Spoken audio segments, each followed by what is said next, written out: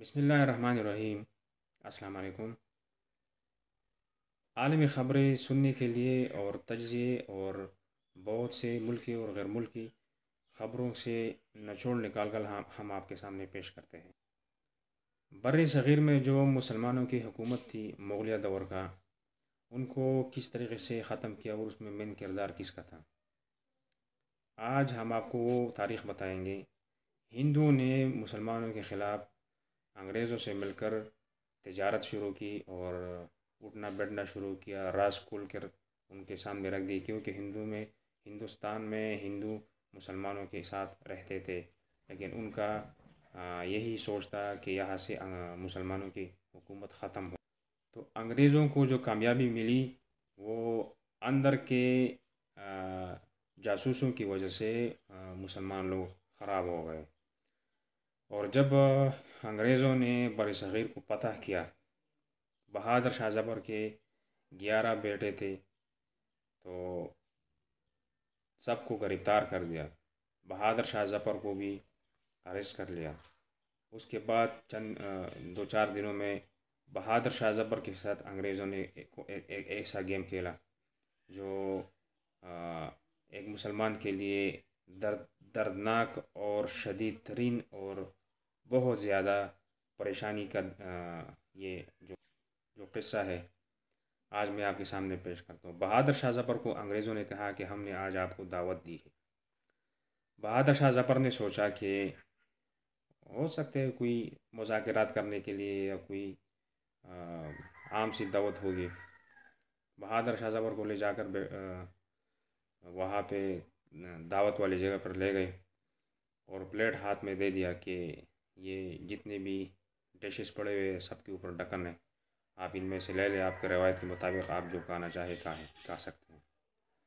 بہادر شاہ ظفر نے جب ایک ڈش کا اس کا جو بڑا برتن تھا، اس سے ڈکنا اٹھایا، تو اس میں اس کا ایک بیٹے کا سر پڑا ہوا تھا۔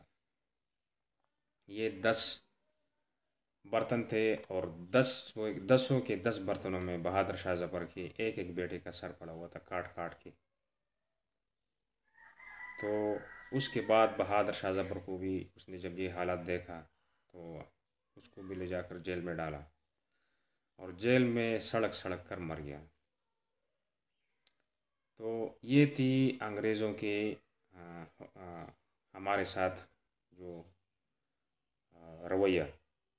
اور وہ انہوں یہ برطانیہ ہوا یا امریکہ ہوا، یہ ایک ہی ہے۔ پہلے برطانیہ کا زور تھا، ابھی امریکہ کا زور ہے۔ امریکہ نے پھر کیا کیا؟ عراق کے صدر کو عید کے بڑے دن، مسلمانوں کا جو دن ہے، اس کے دن اس کو پانسی دی ان کا کام کیا ہے کہ مسلمان کو سخت سے سخت ترین اذیت پہنچائی جائے۔ اور ان کے پیچھے یہودی ہے۔ یہی صدام حسین تھا جو امریکہ کا دوست تھا اور اس نے بیس سال تک ایران کے ساتھ عراق کو لڑوایا لڑوایا لڑوایا اور عراق سے تیل اور اسلحہ، تیل لے جاتا تھا اور اسلحہ لے جاتا تھا۔ فائدہ کس کو ہوتا تھا؟ امریکہ کو ہوتا تھا، عراق سے۔ لیکن جب امریکہ نے سوچا کہ میں اب چال چلوں گا، مزید تیل فری میں حاصل کروں گا، تو عراق کو ہی تو امریکہ نے خفیہ طور پہ کہا کہ آپ جا کر کویت پر حملہ کر دو۔ کویت پر بھی حملہ جو کروایا، امریکہ ہی نے کروایا عراق کے عراق نے۔ پھر جب کویت گیا سعودی عرب کے کہنے پر امریکہ نے کویت کے ساتھ معاہدہ کیا، یا آدھا آدھا آدھا تیرا، آدھا میرا جو تیل نکلتا ہے، جو جیسا بھی ہوا۔ امریکہ کو ادھر پیدا نکلا۔ امریکہ نے پھر عراق سے کہا کہ نکلو واپس۔ اب عراق کہتا ہے کہ کیوں میں نکلوں؟ میں تو قابض ہوں۔ تمہارے کہنے پہ میں نے یہ کام کیا۔ تو اب تم مجھے کہہ رہے ہو کہ نکلو، میں نہیں نکلوں گا۔ اور اس پر عراق کو مارا۔ سب ملکوں نے مل کر۔ امریکہ نے ایک آواز دی اور سب کپار مل کر ایک مسلمان کے خلاف ہو گئے۔ ساتھ میں جو دوسرے مسلمان تھے، وہ سب امریکہ کا ساتھ دے کر ایک عراق کو، کتنے ملکوں نے اٹھائیس ملک، اس وقت اٹھائیس ملک اکٹھے ہو کر عراق کو مارا، کمزور کیا۔ اور آخر میں عراق کے صدر کو پھانسی دلوا کر سنی کو ہٹا کر شیعہ کے ہاتھ میں دے دیا تاکہ مزید دنگے فساد ہو اور ایک دوسرے کو مارے پیٹے ان کا کام یہی ہے۔ اور پھر عراق سے ان انہی دنوں میں جو تیل تھا وہ ایسے طریقے سے، خفیہ طریقے سے اٹھا اٹھا کر چوری کر کے لے گئے کہ کافی تیل انہوں نے حاصل کر لی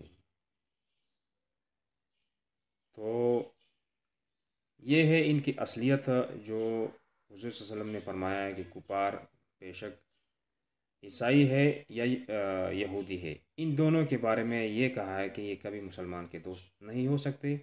ہمیشہ یہ نقصان پہنچاتے رہیں گے۔ اوکے جی مزید اپڈیٹس کے لیے میرے اس چینل کو لائک اور سبسکرائب کیجیے تاکہ مزید عالمی خبروں سے ہم آپ کو آگاہ کرتے رہیں۔ خدا حافظ۔